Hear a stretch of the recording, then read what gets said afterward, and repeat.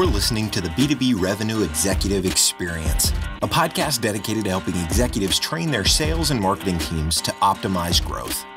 Whether you're looking for techniques and strategies or tools and resources, you've come to the right place. Let's accelerate your growth in three, two, one. Welcome, everyone, to the B2B Revenue Executive Experience. I am Carlos Nouche, and I'm joined by my podcast partner, Lisa Schnare. Say hi, Lisa. Hi, everyone. Today, we're talking about sales playbooks and why they are critical to the success of every sales team.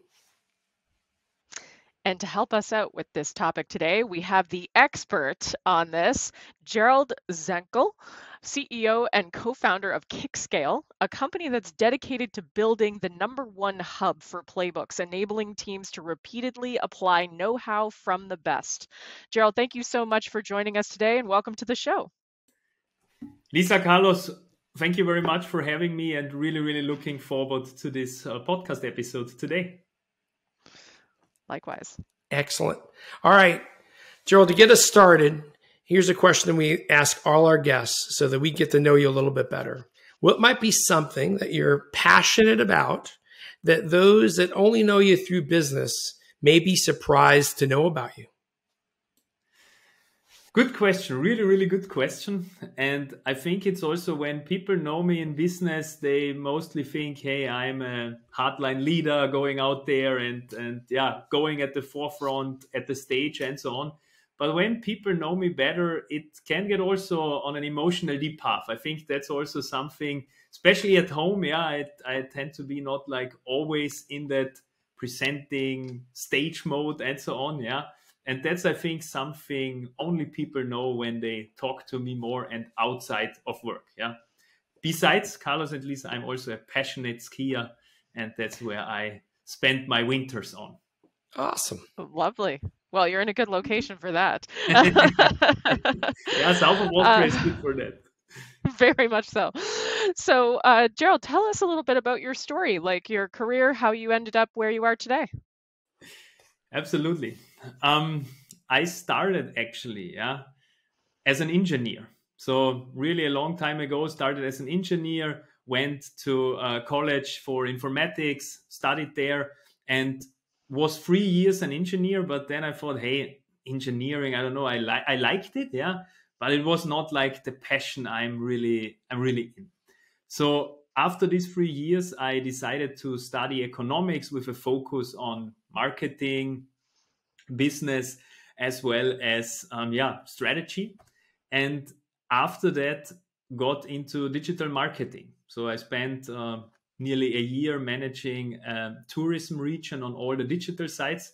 Mostly liked when I was out at the mountains, yeah, doing some social media projects, so skiing and filming at the same time. This was really, really nice, yeah. But at a certain stage, it was also like it felt like, hey, I'd like to go a little bit more back into tech, yeah. And so I was looking for something combining on the one hand side tech and on the other hand side also sales marketing topics. And a friend of mine, a really, really good friend of mine, the CEO and co founder of Bitmovin, now 200 plus people, 20 million plus in, in annual recurring revenue. At this time was a very, very small company. Five people. We were always every half a year going for a beer, yeah, updating ourselves. We studied together, yeah. And um, he was telling at a certain stage, hey, they are looking for a sales marketing expert who knows some technical stuff, can sell and market to technical people, and has also to understand what the needs of these guys are. And then immediately in my heart, yeah, it was like, hey, that's it. Yeah, my head took probably another two to three months to convince myself joining a startup with less money, yeah, success criterias. Yeah, let's see. I knew that the, the my friend, the co-founder, was always a great guy, and I knew when he does something, this is going in the right direction. But still, right, it was uncertain. Um, but at the end, luckily, I made the decision joining a really, really early stage B2B SaaS startup. I was the first marketing and sales employee. When I joined, there were seven people, a couple of engineers, the founders, small office, so really like the startup world. And we started to market. We started to sell and then a really really nice journey started. Yeah, uh, when I joined, they got the first small investment, and then the ride began. Yeah, and actually we doubled our employees every year. We doubled our revenues almost every year, and the last seven years, I was really really in deep I would probably say merit yeah with with this company yeah um, and I really loved it yeah it was like the journey. We were really like a professional sports team. Uh, everyone knew what to do. Even sometimes we just didn't know what to do yeah because we did it the first time yeah. But it didn't feel like that. It felt good. Um, we failed a lot yeah. Obviously we tried a lot. We stood up again. Um, we did some mistakes. We did some good things and so on. And over this period, I really learned the fundamentals of marketing in B2B, of sales in B2B. First, I was really responsible for the whole marketing and, and sales up to 50 people. Then, so 50 people as a whole in the company. And then when we grew, we hired an, an CRO, Chief Revenue Officer in the United States, where I could also learn a ton from and went into enterprise sales two, for two years and learned there, there to close the big deals and so on. And then the last uh, two to three years, I was leading the global inside sales team um, with all the SDRs, BDRs, and account executives closing all the deals which we can close via inside sales and not field sales, which obviously due to COVID became also very, very relevant. And back then, we saw this importance of playbooks. Yeah, we did not know that these things are called playbooks. Yeah, we've just thought at Y Combinator, for example, really famous incubator in US where Airbnb, Dropbox, and so on were. Bitmovin was there too, and the founders of Bitmovin as well, and we worked very close together. And these guys back then told us just copy from the ones where the processes and the sales already works. Copy them and you will be successful. And that they were right, yeah. So and they challenged us on a lot of things, and we looked into certain companies like Algolia, how they do their sales, checked in with them. But I still find it so hard to get know how from the best and apply this know how to a certain stage in your life, in your career, or in your company. And that's where my co founder Marcus and myself had the idea to build up something like Kickscale. And besides Bitmovin, we already started to consult several other successful startups, and we saw that every one of these companies had the same problem. And I had it too. Yeah, I, I failed in a lot of things. Onboarding new sales employees was a challenge. Um, training them was a challenge. We had less resources, no sales enablement department. And out of that, we founded Kickscale. And that's where we are here. And really, really nice now talking with you a little bit more about these topics. And helping other sales leaders with the right know-how to be successful because I didn't have the access to these predefined playbooks to make my team successful and that's really where I yeah learned so much to help my team even better. That's amazing. That's a great story, Gerald. And when you are talking about the playbooks, that uh, I love how you said the the people tell you to just copy what the successful sales organizations do. So part of Kickscale is it sounds like templates for playbooks. Do you also build them completely customized depending on your client?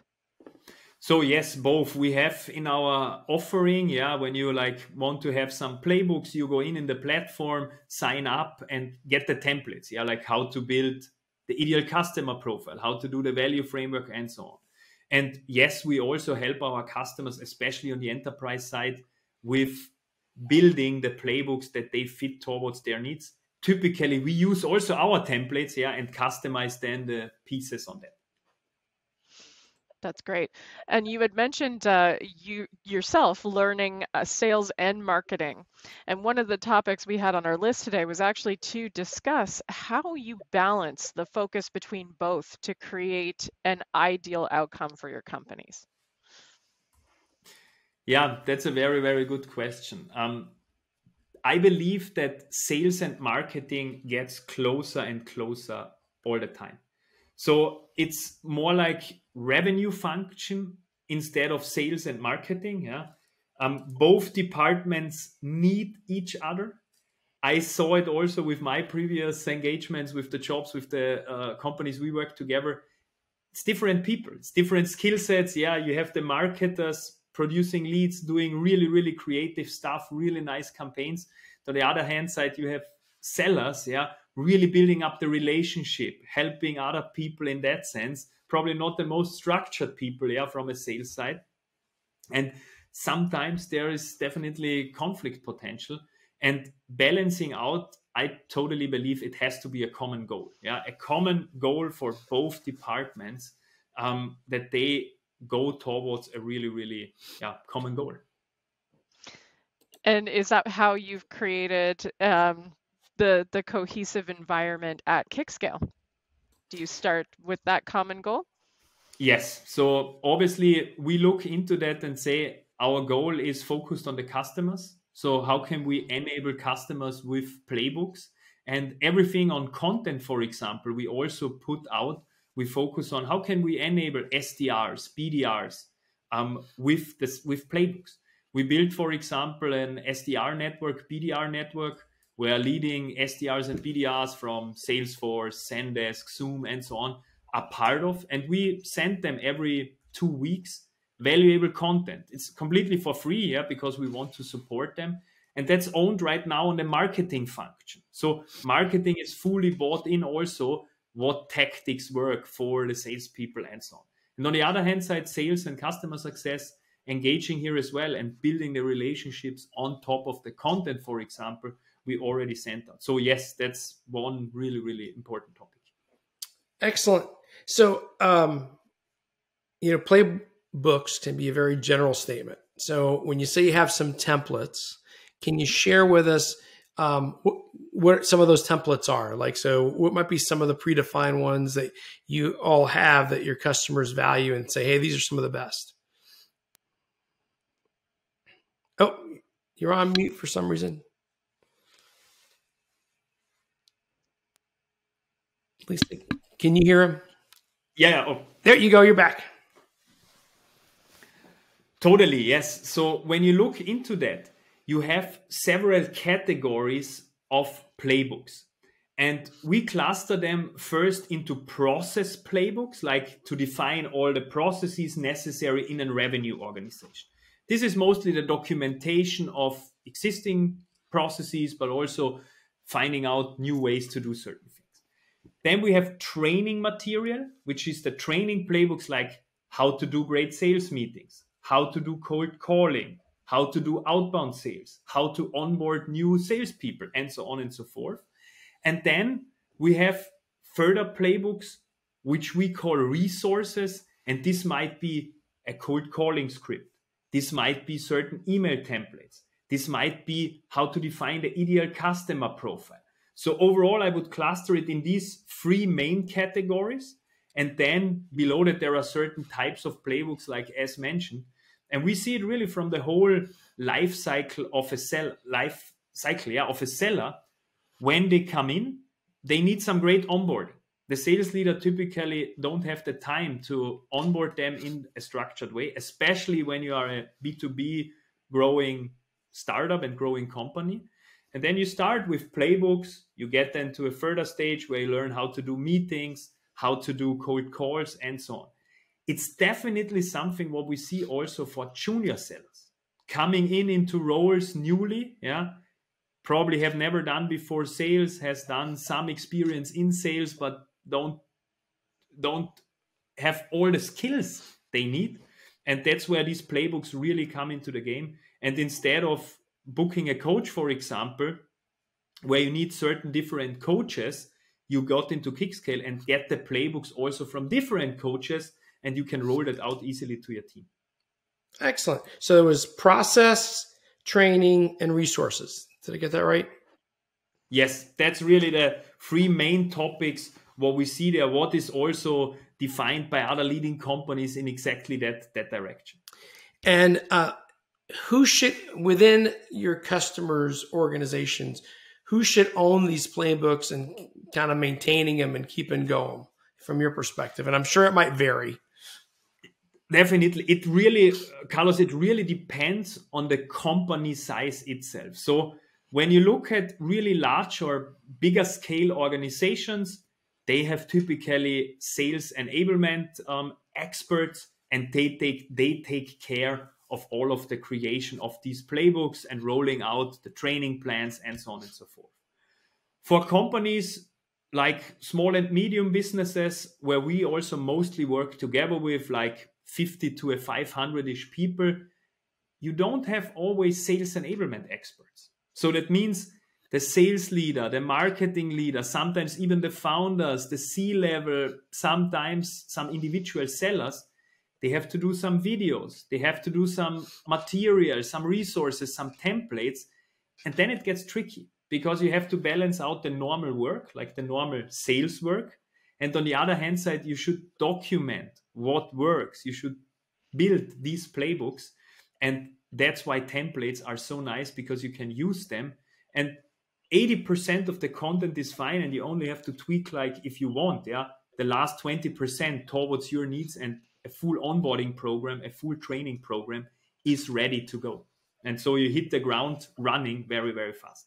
Yeah. Um, you know, earlier we are talking about sales and marketing.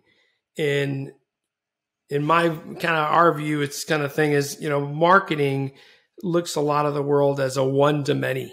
In other words, they're creating messaging to impact many folks across many channels. At best, you know, we can narrow it down to a title and industry sometimes. Sales and again, I'm just generalizing, a lot of times is one on one. We're trying to have a one on one conversation with an individual to understand them, their role, their business, their wants and desires. And um, because these two different perspectives, it's sometimes hard to get the organization to kind of come together. And eh, how do you folks deal with that complexity and, and the marketing side of it? Any advice there? Really, really good question. And I think a very valuable question, yeah, to be honest. Um, I think it depends from case to case how big your customers are, the ideal customer profile you are targeting. Um, if you are targeting really huge enterprise B2B companies, yeah, marketing is mostly on a supporting role, like through the whole customer lifecycle or the whole prospect lifecycle and sales still goes in with the with the one-on-ones on that side.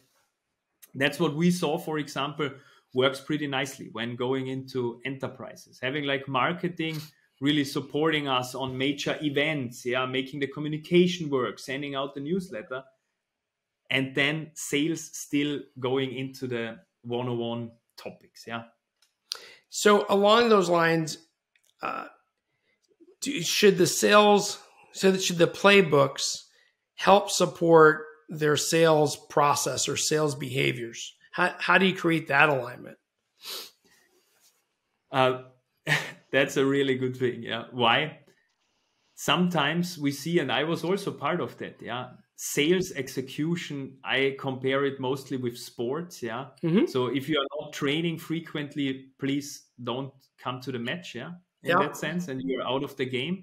That's on the one hand side, and having the discipline in in doing that. Yeah, and I think the really interesting part is most people, most sellers know how to do it. They mostly also know what to do, but it takes like always this little tweaking and always this new thinking and remind us as well to get get on with it. And that's I think how how I see it. I really compare it with sports. Yeah, mm-hmm. my hint is on that. What I, to be honest with you, completely ignored at the very beginning, especially. Yeah, I said, "Hey, sales. Yeah, let's talk here. Let's talk there. Let's." Chat with this person with this person even in huge organizations no structure in nothing yeah more or less and i think first of all discipline yeah and structure to do the same things over and over again. I think it's really comparable with sports. If you want to become a really professional runner, go out, run five times. And that's how I see sales also. I didn't do it at the very beginning. I thought sales, yeah, you know, you talk with a lot of people, you have some fun and so on. And it works as well. Don't get me wrong. I, there are ways where it works. But if you want to get it done as a team and have a framework, then you need this framework of rules, playbooks in place, and roll that out also frequently and check it also in frequently with the team that everyone understands the same thing, like a really good football coaches do. Yep, I, I agree with you very much. In fact, I, I, I remind folks, you know, the best teams and the best players are usually the ones that practice and put the most effort into the game. And totally, hundred percent. Yeah, you know, I mean, sometimes you think, well, hey, he's the best at that, so you know he should practice less. The reality is they practice it more than anyone else, right? Because they want to stay the best and keep that level of skill set. It's a game of inches sometimes, and that difference comes into it. Now, um, so a lot of times we work with organizations. You know, Carlos, we need specific playbooks. Like a persona, a title that we're selling to, maybe even by industry, because it may differ in finance versus manufacturing. And then, you know, they kind of want to have like, hey, I, I don't want a script, but I do kind of want to, can I get a set of questions that really help us uncover and position our differentiators? Do you all get involved in that, those aspects of those really kind of customized specific playbooks that are to an organization and their products and who they're selling to?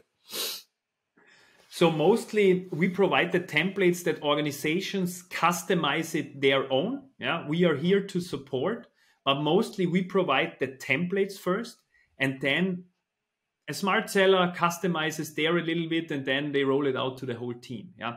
So that's what we see and where we are already 80% on the way typically, especially when you look into fast growing companies, you hire people, yeah, and you don't get always the best players, yeah. So you the, the challenge, what what we see out there is not like you said, Carlos. I like that very much. The best players are the best players because they know already how to train. They know already what to do, and they do it also. They train harder than anyone else, yeah. But this is probably if you're a really great sales team 40 50% of your whole sales force and then you are already a great sales team i think in reality it's probably one third of your sales organization where you just don't have to do anything with them they just get out they train they close they do but the other two thirds yeah as a sales organization you want to help them and you want to help them everyone individually with meeting playbook cold calling playbook where their strength are to supporting even their strengths, but probably also to get some of their weaknesses out, which you have to get out. Yeah. Yep. If someone cannot do pitches as a seller, probably it's the wrong person. Yeah. And not the seller. But if they are really, if, if we see the potential to grow them towards the seller, they need the right playbooks to get to that level. That's how I see it. Yeah. And can I kind of continuing that sports analogy, what I've also noticed is, um, some of you with the best talent and to put the most effort in, it isn't like you can just set them free and go, hey, go do your stuff. Because those folks are also the ones that are constantly looking for coaching and how do I get better, right? Um, you look at golf, you know, they're always hiring a different golf coach, not because this person plays golf better than they do, but because they're able to identify their weaknesses and coach them through getting better. And I, I think the best salespeople individuals and organizations are looking for that and they'll stay longer if they get it. And if they yes. don't, they'll usually move on, right? Because they've yeah, peaked exactly right where they're at. And I didn't mean to digress. Hey, one last question yeah. since you have some of this. Do you focus on certain industries? Is there certain industries you go, hey, we have some content and it applies to certain industries versus others? Yes, right now, when you look at it, it's really B2B software as a service in a way, a complex sales. Yeah. In when you look at it, deal sizes between 50 ish to a 200, 300K per year. Yeah. In annual recurring. That's where our sweet spot lies. Why?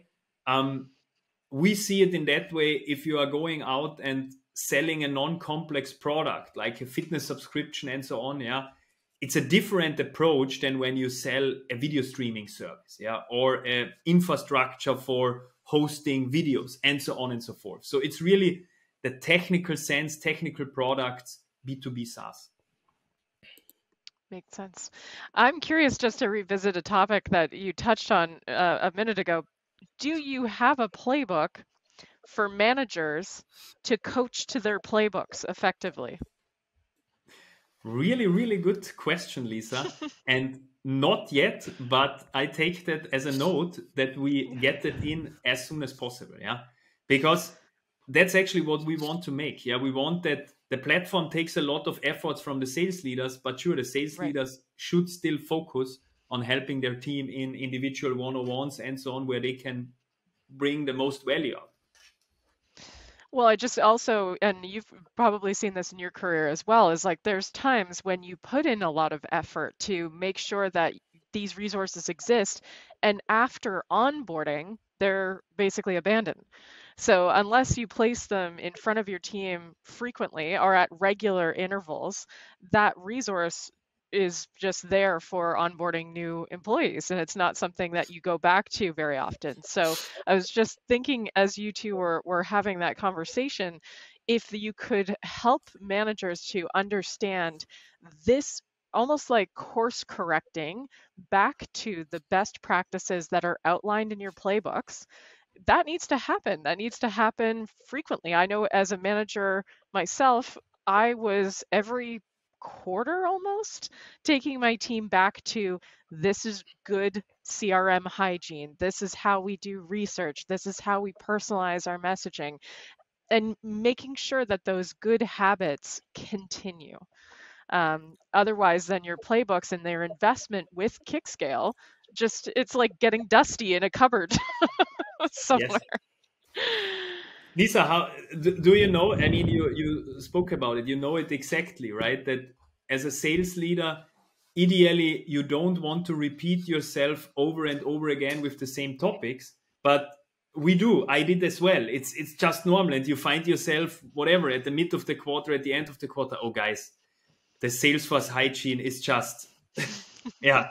So you find yourself, yeah, and the bad thing is I did that as well. I reminded myself all the time. Yeah, I said, "Hey, let's jump on another meeting," and so on and so forth. And I think it's still necessary to have some discipline on that, yeah, and to get on a meeting probably. But I don't want to repeat the informational stuff on it, and that's where the playbooks come in. So say, "Hey guys, I've rolled out the playbook about Salesforce hygiene. Watch it. The system is checking everything, yeah." And then for sure I can check in on a quick chat. Say, "Hey guys, who has not done it? Why?" Adopting it. And the system, and that's also in which direction we are going, the system takes care of it. And with integrations into different systems, you also check who closed what, what's the hygiene and so on, and recommend certain playbooks for certain sellers so that you don't have to take care as a sales leader about everything. Ooh, that's really interesting. So when so just to put that idea into play, so when a opportunity is at a certain stage or if a field has a certain amount of data or a certain kind of data in it would it prompt you to go to a playbook?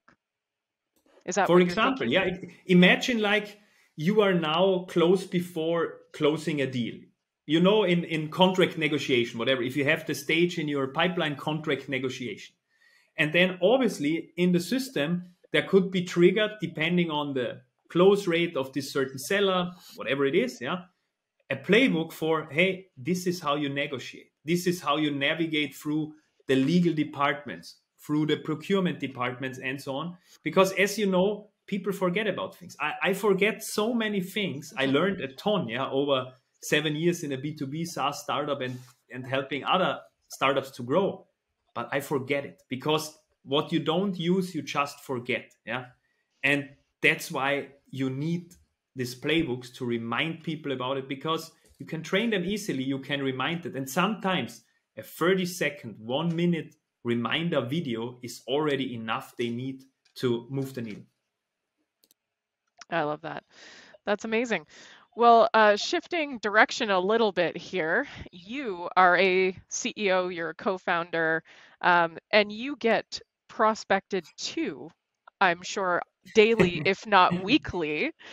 So, curious to know when something actually captures your attention and might even make you respond from someone who has no relationship with you, like a cold prospecting message. what uh, what catches your attention what do they need to do to earn uh, your time yes um, thank you lisa yeah um, first of all i try to be always nice i was not always nice in the past. It, it's really like that. Sometimes i picked up someone caught me in the middle of something i was i was not nice yeah. So i'm nice now. At least i try always to be nice yeah. And that's my first hint to everyone yeah. There are people on the other hand side mostly junior sellers who get a list of whatever 100 numbers calling there and they call and some people pick up and whatever yeah. So um that's first. Second what caught my attention. I just had a cold call i think yesterday and people call me and then they pitch something and so on and so forth. And typically it's like it's not nothing is in there which caught my attention yeah.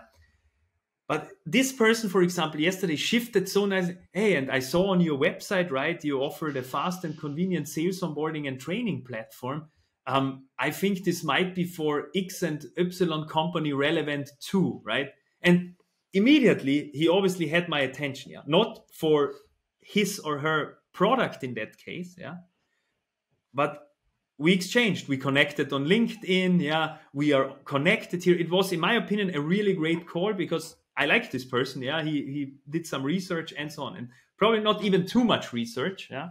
So mm-hmm. my first hint is you need to do some research. I'm not saying you should spend i mean if you call the ceo of a fortune 500 company and you can reach uh, him or at least the assistant yeah probably do a lot of research but a little bit of research that's a little bit personalization, a little bit of research that I'm not feeling like I'm the 20th person in the list calling me, hey, am I speaking to Gerald? Yeah, Gerald, we are X, Y, and Z and offering that and that. Oh, great. Yeah. But like, hey, Gerald, I saw there was a Forbes article going out today of you. Congratulations on that. And then just pausing, right? Because then, okay, yeah, and how can I help you? that's what I would recommend everyone doing cold calling, focusing on that, on the personalization part. But on the other hand side, also not wasting the time on personalization. Why? Statistics show you get the connection rate out of 100 calls, you get probably two to three leads if you are already successful. So if you spend like five minutes for researching every lead, yeah, the day is almost gone, I would say. Yeah. So right you have to balance that out yeah um, still having a lot of volume in there but having some personalization probably having that open on the site the website to just get out some buzzwords to get over this first um, barrier i would say yeah i love that yeah it's it's true we've got to personalize at scale as much as we can um, the research is important um, but it's also it's a balance Yes, and Lisa, one thing, and Carlos, to add the persistence as well. Yeah, I I see so many people calling or emailing one time, and mm. This is nice. And we obviously I did that as well. So everything I talk is pure mistakes we did as well, and not followed up, and so on and so forth. Mm. Yeah, but not following up costs you revenue, and especially for cold calls. I had once, I think, a person calling me three times in a row and you have to find the balance between annoying and obviously persistence yeah that's that's absolutely right but i pick I, I, picked it up because i thought if someone is calling me three times it's important and this gerald luckily you picked up. Thank you so much. And obviously can you hang up after such a warm welcome? No you i mean i can't yeah. And this worked out and i connected this person back then to one of our um, sales enablement managers and they had a good chat. And that's what I want to add as well here. That's uh, and and that's really important. And it's I've got this question for you because it sounds like you've you've managed both teams and it's an interesting stat that 60% of sales reps don't do any outbound. What is the balance do you believe between getting leads from inbound versus how much you need to do outbound? Yeah, that's um so we had tons of discussions about that and also hard discussions. Why? We got flooded with leads. We got so many leads in, which was great, yeah. But we had no objective measures to measure the quality on a right way. And so the marketing team was frustrated at a certain stage because they were producing so many leads and everyone was saying, hey, leads everywhere, right? Mm-hmm. And the sales team got frustrated too because there were so many leads, but they were saying, hey, these leads did not go anywhere. And marketing says, yeah, but then tell us what to do. So, first of all, be, before thinking of the, the ratio of inbound and outbound, I would really clearly define I know it's not always possible for us. We had also to experiment a lot. This is part of the process, building it up. But making some experiments, hypotheses, and then measuring on that. Yeah. So um, I think when you go for outbound, you as a seller or the sales team can 100% focus on where they want to go in and why. Mm-hmm. And this is a really, really nice option. Yeah. Because you can select, hey, I see Turner, yeah, offers great video services. Why not approaching them for a video player, for video infrastructure, whatever? Who would be the right person? I can prospect that myself. And with the right messaging, with the right tactic, I can get to someone and book a meeting. And I know the sales team from a very first, hey, this works. It's more effort, obviously. It's cold, it's more effort. It takes, in my opinion, more educated salespeople, a different skill set. On inbound, on the other hand side, when you get leads in, and especially if you get the right leads in, it's it can skyrocket. If you have this machine, it gets in. We know we get all VP of sales, head of sales in because we do such a great webinar or whatever, and we get it in checkpot, in my opinion. Um, at the very first, when people when companies are small, I think you need to that people do mostly both inbound and outbound. Our rule was always focus first on inbound, but be also strict on the qualification part. So if you see like someone signing up where you obviously see there is no opportunity, be strict and say this is unqualified. Yeah, even if probably something can fall through the cracks, but don't focus on dead horses. Yeah, because if that continues, will not you will not be successful and then really fast try to do the rest of your time outbound and if the company grows split it into two functions yeah because it's a different skill set and different things to do here and i think lisa to answer your question 50-50 is a is a um, good split but i know also really big crm systems yeah who promote inbound like hell yeah uh, and are also focusing on inbound, but they generate most of their business via outbound tactics. Mm. So uh, that's really interesting for me. So it depends also on the industry, on your buyer. Yeah, if your buyer is used to get cold calls, to get approached, outbound will work way better. But if your buyers are not used to get cold calls, to get approached, you obviously have to start that slower, and then marketing is probably the better choice you know, it's a key word you said is qualified and mm. organizations are usually all over the place. And what I mean by it is sometimes early on, especially if they get a lot of inbound, hey, we have a lead at Sony, but who are we talking to? Is it even someone that can buy from us? Are we even talking to a division that makes sense? So whether it's inbound or outbound, and you're right, outbound, we could be more deliberate about which personas which titles, which within which industries should we be targeting because they're the ideal buying persona versus, hey, let's just get a warm body on the phone. And I think sales sometimes gets frustrated with marketing because they get a lot of warm bodies that are willing to maybe talk versus I need a warm body that might be a good candidate to buy. And uh, that, you know, qualification, and I've seen, you know, I've worked with great startups they got a ton of inbounds, and sales says, "Hey, BDRs, don't get in the way. Just give me all the names. I'll, I'll figure it out." But then as you scale, you kind of go, "Whoa, whoa, whoa! I really need the BDRs to do some level of qualification." And I get it. You know, these might be people that don't have years and years of experience on the sales side or even the product side. But at a minimum, this is the persona I'm looking for with these types of problems and these types of situations. If you get someone that meets those criterias, I got a qualified lead. And that kind of goes back to the playbooks, right? These from our perspective, a version of them needs to be playbooks that go, hey, here's who you should target with these types of problems or in these types of situations with these types of questions. And uh, so, I, hey, I'm kind of go go full circle. When we talk about Kickstart, we, talk a lot about like a, a platform. In in a way, I kind of start feeling, and I, I want your clarification. We might get a little technical here. Is it is it like I kind of almost start seeing it like a learning management system in a way, right? Hey, I log into your platform. It knows, um, hey, which playbooks I've already done, which ones I haven't. Is that, give me a little insights into Kickstart the platform. Is that kind of how it works?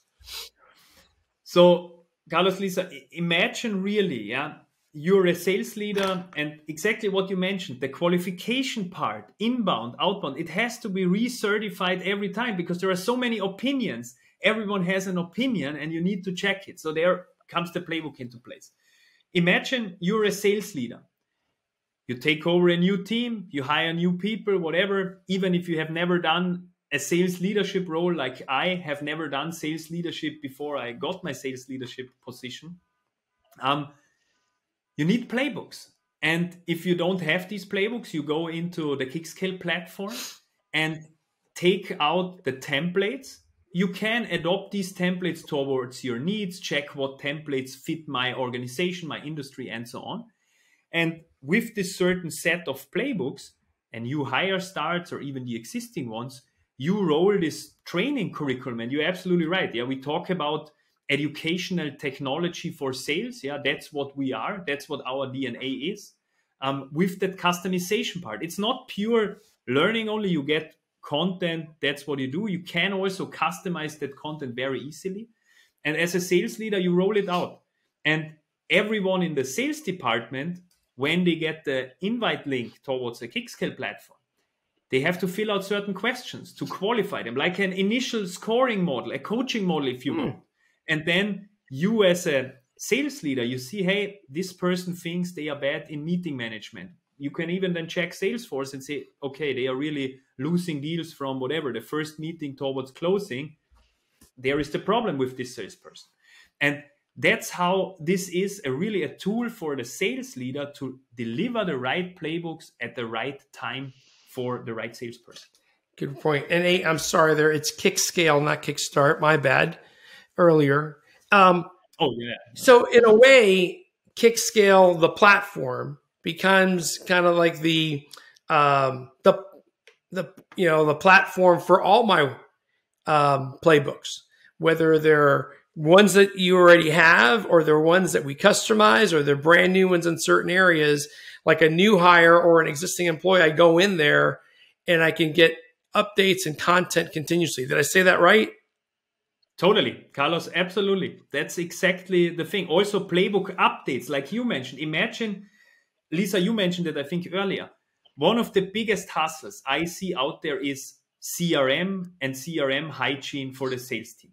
And mm-hmm. what I have seen also in a lot of sales organizations, it's not the problem that the CRMs are so complex, but the problem is that sometimes, and in most cases, the expectations are just not clear what to do and what to fill in in Salesforce. And so instead of feeling something in, people say, hey, okay, I get it. I don't do it. I wait until my sales manager screams at me or sends me frustrated emails or the CEO or whoever. And then, okay, I get it now. Yeah. And for probably forget it until the next quarter already because there was some changes.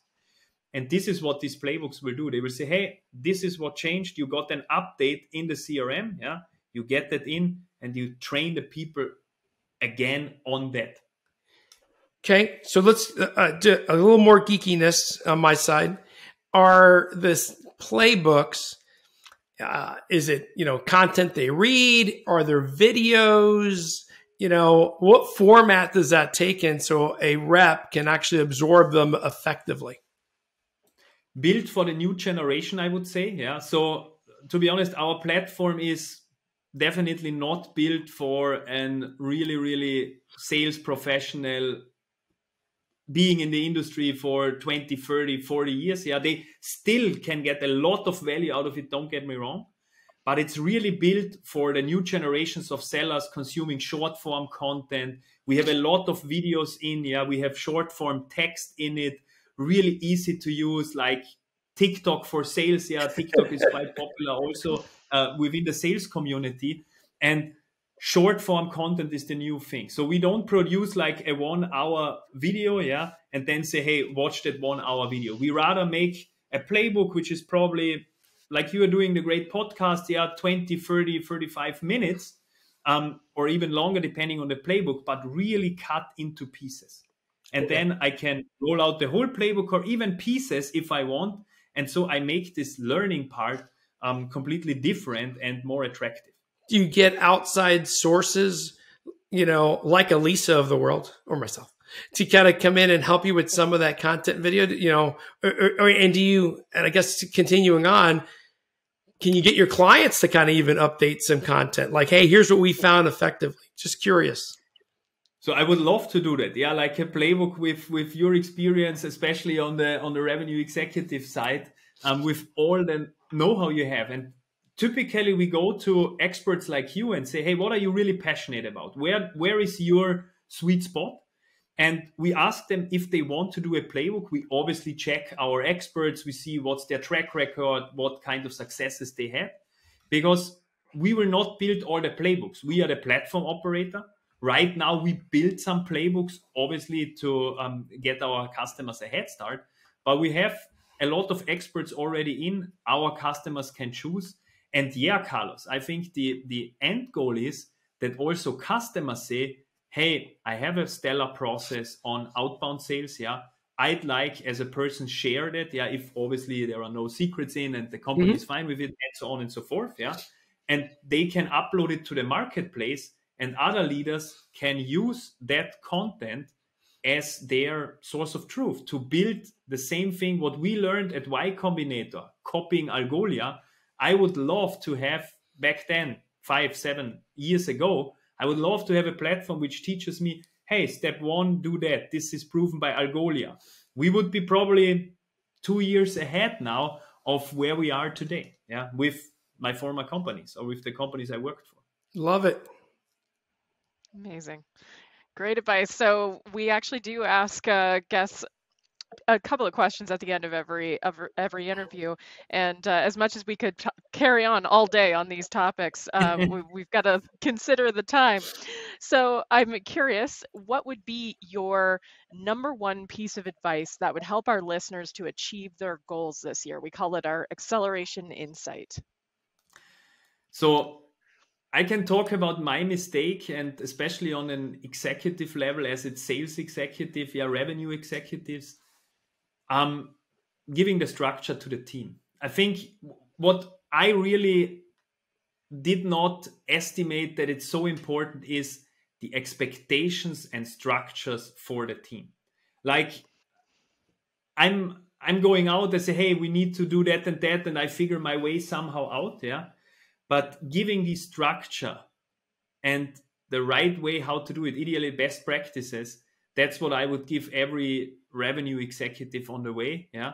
And taking really time out for that to mm-hmm. build these best practices and share it. Because i did not take time out of my schedule. I was like running oh one quarter one other then a seller quit yeah? Another seller started. I had no formal onboarding. Uh, we had to hit the numbers. And i completely overlooked it right? And being in as a leader one two three months you then yeah fully in the in the game more or less yeah. And you have a number to hit and you do everything to hit these numbers. And i think then it gets really stressful for you as a manager as a revenue executive because you don't take the time out of building that and also sometimes pushing back to the board and say hey we need to do that. We need to do that to get that get that going and that we are successful probably not next week but ideally already this quarter or next quarter, and that every sales leader after me will be also successful with that process. There's a famous American basketball coach, John Wooden, and one of his lines is, uh, "If you don't have time to do it right, when do you have time to do it over?" So to finish up on a you know a little sports analogy, it kind of goes back to that, right? Sometimes we're yes. running so fast to get it done yes. that we forget we need to get it done right. Yeah, and these stories, uh, I read also uh, the um, the CRO leader, yeah, from John McMahon, and these stories are repeating in in almost every sales organization. Yeah, and this is what you have to take time. I love that statement, Carlos. Yeah, thanks for for sharing. Amazing. And I understand, Gerald, that there are some free templates that you offer for people. Where can they find that content? So, yes, there are free templates available. They can go to our website, uh, kickscale.com, and can actually sign up for uh, the free trial and for the freemium version of our product. And then they get certain templates like the ideal customer profile, the value framework, certain things they can really fill out already and can really, yeah, hit the ball running. I love it. That's so great. Um, and Gerald, if anyone wanted to get in touch with you to speak more about the topics we covered today or just to connect with you, what's your preferred method of communication?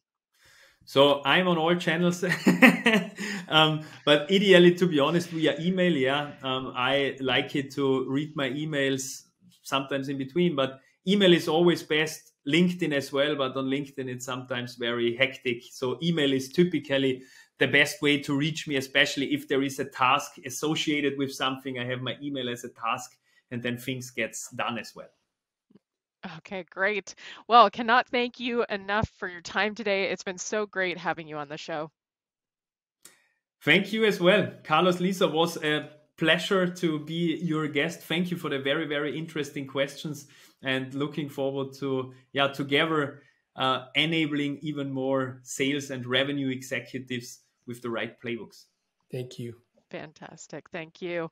All right, everyone, that does it for this episode of the B2B Revenue Executive Experience. Please check us out at www.b2brevexec.com. Share this episode with your family, your friends, your dogs, your kids. And if you like what you hear, please do us a favor and throw us a five star review on iTunes. I am Lisa Schnare. My co host and podcast partner, Carlos Nouche, is here with me. And until next time, we wish you nothing but the greatest success success. You've been listening to the B2B Revenue Executive Experience. To ensure that you never miss an episode, subscribe to the show in iTunes or your favorite podcast player. Thank you so much for listening. Until next time.